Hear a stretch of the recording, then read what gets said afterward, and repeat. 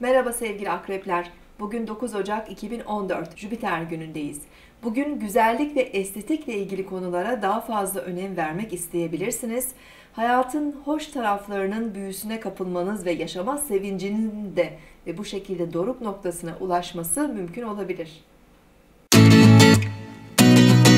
Burcunuzu dinlediniz. Bugün 9 Ocak 2014 Jüpiter günündeyiz. Sabah 4.25'te Ay Boğa burcuna geçiş yapacak. Boğa burcundaki Ay güne daha huzurlu, dingin enerjiler verebilir. Bugün maddi manevi güvenliğimiz, zevk aldığımız konular, kişisel değerlerimizle ilgili kavramlar öne çıkabilir.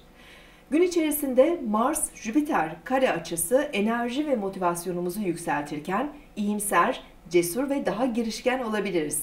Ancak fazla abartılı ve riskli hareketlerden de kaçınmamız gerekiyor. Akşam saatlerinde Boğa burcundaki Ay ve Oğlak burcundaki Plüton arasındaki üçgen açı kendimizi daha güvenli, huzurlu ve güçlü hissetmemize yardım edebilir. Yarın tekrar görüşmek üzere. Hoşçakalın.